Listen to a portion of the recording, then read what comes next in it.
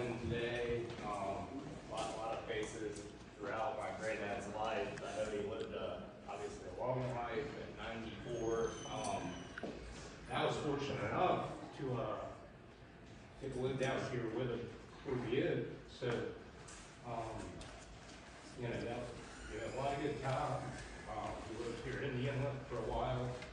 So the kids and I would go by on, uh, Saturday mornings visit. Start off. They were disappointed we didn't have time to go to you this morning, here. Um, so we go see them over at the other place they live, um, kind of across the street here. But when I think about good times growing up, I think about my granddad, I think about me and my grandmother, um, simpler times. Um, you know, they lived in the country, um, you know, he grew up on a farm in southern Illinois, um, which from the south, you picture Illinois like Chicago, but where they live is flat. Um, that's could be with cow stalks, or uh, corn stalks as far as the eye can see. I remember getting chased around by cattle and bulls, et cetera, out there on that farm at a young age. Um, but also think about the lake, and, uh, you know, my granddad retired at what, 55, 58. So like my entire life, he was basically retired. Which sounds awesome. Um, so he had a lot of time when I was a kid and lived in Spartanburg to watch me and me to spend time with him. Um, and my parents would go on trips for work or what have you, and we'd stay there at the lake uh, with my aunt and papa for two weeks or so at a time, and uh, myself, my sister, and my cousin Callie, and this, were good times. Uh, we get up very, very early. For those that know my granddad, he would wake up every morning at four or four thirty, whether you wanted him to wake up at that time or not. He'd start doing the dishes. Um, he'd, he'd rattle around a little bit for sure. Um, but th- those were good times of the lake. We'd go eat Little Debbie's. We'd go eat Little Debbie's out on the pontoon boat, fish all morning, then come back and beg him to pull us on an inflatable alligator behind this pontoon boat the rest of the day. I can remember him drinking a beer being very happy to drive us around. He drank his beer. Um, but he lived a good life. I mean, what we get to be 94 is, is really saying something. I never met anybody that had a bad word to say about him. He was a big man, but a quiet man, a gentleman. Um, I'm proud to say he's my granddad. Thank you all for coming.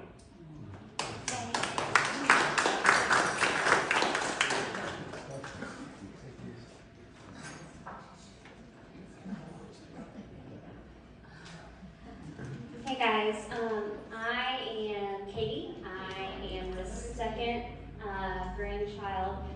Um, and so, yes, uh, Papa is what we Papa Car Car, because McCarter was challenging to say, um, I guess, as a child. Um, but yeah, uh, when I think, you know, we were speaking, when, when I found out I had the opportunity to speak, we've been thinking all week, and my husband, Reed, Mary Thomas, and kind of our newborn pride has, has been part of the process uh, of thinking about what he meant to us. And when I think of him, I just think of like Lake Greenwood, uh, where they had a house for several years, and um, you know, just a green lake, placid, still, calm, um, easygoing, long summer days, a lot of memories of fireflies running around outside at night with Callie, and my brother, and with mason jars trying to catch them. And, um, it was just a really magical summer childhood memory. And, uh, you know, if, if you knew Papa well, you knew Nana Carcar well, you know that they were kind of polar opposites a little bit. Um, it was a good yin to their yang. Um, but, you know, he was always he was always the one when we would get into mischief that might help us get out of it. Um, he was the negotiator. Um, we had a, you know, you have a lot of time on your hands as a child at, the lake, and so you can kind of get into some things that, you know, just to entertain you. Um, and I can recall, uh, Cam was speaking about how they got up early, but for some reason, one morning at the lake, Callie and I got up really early. Um, and they were still asleep, which was odd, thinking back on it. And they had they had banned the super soaker um, that I think my brother actually had. Um, and they had put it up on the refrigerator, and we weren't allowed to get it. And so, you know, we'd been there for a week or two at this point, we needed some entertainment, and uh, we snuck it and, and snuck into their bedroom and actually woke them up with a super soaker. and the, the intended target was Sweet Nana Carcar, but Papa was a bigger target, so it was easier to get him. Um, but of course, she woke up upset, and uh, but Papa smoothed it all over, you know. So he was the negotiator. Um, so yeah, when we think of him, when I think of him, and when my husband, you know, thinks of him, we think of a gentle, like my brother said, a gentle, gentle man. He was a big man, but um, you know, he he really knew how to carry himself and to calm any situation. Um, so that was a great example of something that I've kind of taken from him, and I'm very thankful for. We love him greatly, and uh, thank you for being here to help us honor him. Thank you. Yeah.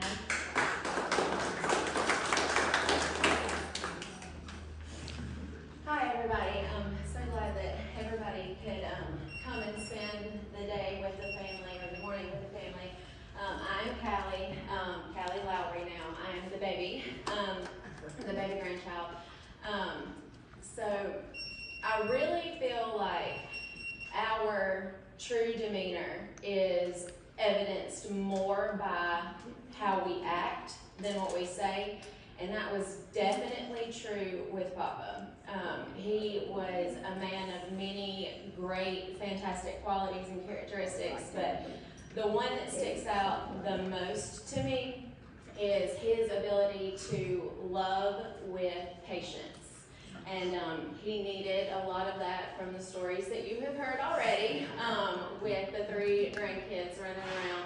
He needed a lot of patience, um, and he definitely, um, he definitely exemplified this um, demeanor of just loving with patience. And I really feel like that probably began um, when he and um, this woman he had never met before were walking with another couple down the road, and that woman just happened to turn around and look at him and tell him, Will you go ahead and come back here and walk with me? Thus began their life of love with each other um, for the rest of his life. He just didn't realize it that day. Um, but that is definitely where I feel like his um, loving came from. And then it's later been exemplified in our childhood through stories like the Super Soaker and when Katie and I decided to wax a floor with Murphy soap. And he was the unfortunate victim that got to walk out and, and figure that out, that we had done that. And, you know, he fell, and when he picked himself up, he said um, some words that I'm not going to repeat. And, um, you know, went on about our day. And um, and then, you know, when she and I used an entire can of shaving cream to put it on the picture mirror and try to paint pictures in it in the bathroom and, you know, he just cleaned it up and raised it up. That is definitely something that we all need to emulate. If we take one thing from him. All right, that, those three definitely mom and dad's pride and joy. Um, Cam was born, and now they've got the five great grandchildren. And you were supposed to see a video, I think, next, and it didn't work out. I'm sorry, but it was mom and dad meeting this young man, Pride, uh, right here, and Pride is aptly named. He's named for another great grandfather, Reed's grandfather, but he is definitely a pride to this family. And I, there's not a lot more I can add to what my children have said about Daddy. And those of you that have had conversations with Dad, you know how he was. Loving, compassionate, smart, authoritative at times with me and my brother King, uh, my brother, I'm sorry, with my brother Ray. And he was a wonderful counselor, tried his best to keep me out of trouble, and that was that was a pretty big job right there. Um, he was truthful, he was impartial, caring, very charming, and most of all, forgiving. Most of all, I'd like to share, my husband found this, and I was wondering what I could say about Daddy, and it's called Stepping Stones. The Lord came to me like a dream one day and asked, Why do you sorrow? I answered, Lord, my soul is so full of pain. I cannot face one more tomorrow. The Lord sat down beside me and gently took my hand. He said, Let me explain to you, and then you'll understand. Each sorrow is a stepping stone you must surmount each day. And every stepping stone you climb is a sorrow that's passed away. The road of life is a mountainside with crevices in which to be caught. But as you struggle on your way, I, the rock, will lend support. Every stepping stone you climb makes your spirit and heart, kill the battle, makes your heart grow strong. Exercising character and faith, this road seems painful and long. The way is paved with stepping stones to uplift your heart and soul. Though difficult, they aid your way to a city paved with gold. I know that you are tired, for I too have walked this way. My sorrows did, they multiplied, but I cleared many stones away. I left my rock to lift you up. I left behind my story to give you the strength to make your climb to that special place in glory. And never fear, the rock is here, and you'll never climb this mountain alone. Surmount life's sorrows, continue on, for they are but stepping stones. And I'd like to share Proverbs 3, 5, and 6. Trust in the Lord with all your heart, and lean not to your own understanding. In all ways, acknowledge him, and he will direct your paths. And we do appreciate y'all coming, and we'd like to end this little simple homely memorial to my dad, who was a very simple but very unique person. Uh, but if you would sing with us, um, the song, thank you. Uh, may the circle be unbroken.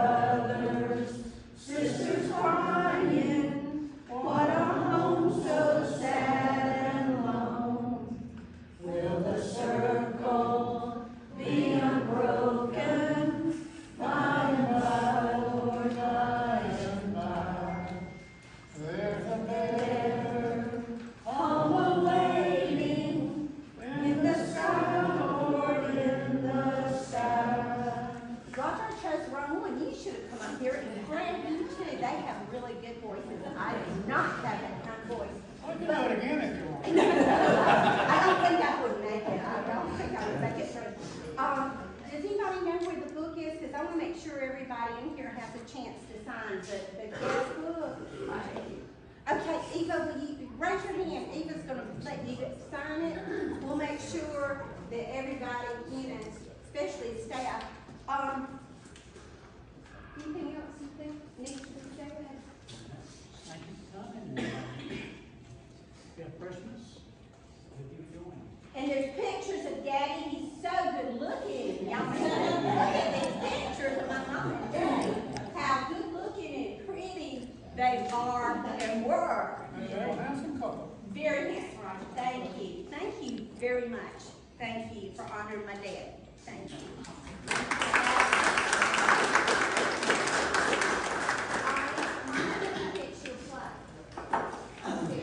When they first moved into River Club, that's when they, we met them as neighbors. John and And this was back Elizabeth in, Doherty. uh, this was back in two thousand six. I had just come back from Boston and had my left kidney removed for cancer. And I was just getting out, starting to walk pretty good and everything. And Matt was out there cutting his grass. And at the time, he was seventy-eight, which I am right now. Right. Oh, wow. And he had bad knees on also. Okay. Then I walked down and said hello. And Mac looked at me and said, John, can I cut your grass for you? I said, I'm Mac, I sure appreciate that. But, uh, know, I have somebody already cutting it. Here's a man that was 17 years my senior. And the goodness of his grass. heart. Yeah, it shows how kind. Yeah. And it's just been a uh, My true blessing in my life to have somebody like that. Yeah. And they'll always be there. you. It just shows that he's so selfless and how kind. He was a wonderful man, gentle, like they said, wonderful neighbor. And he loved, him and Hazel would come down and they would pick figs from our trees. And he was so funny, I said, you, you don't be going up too high on that tree. He helped the He's on the ladder. ladder climbing up and And then Miss Hazel would take and she'd make her fig jam and share it to everybody. Anytime he needed to smile, I said, let's go down and see Hazel and that. That's right. But they were They always wonderful brought a smile to your people. We face. miss them. We really did miss them. But he was a good man, good neighbor. Yeah. Yeah. Oh, very nice. Thank you guys for sharing that stories. Well,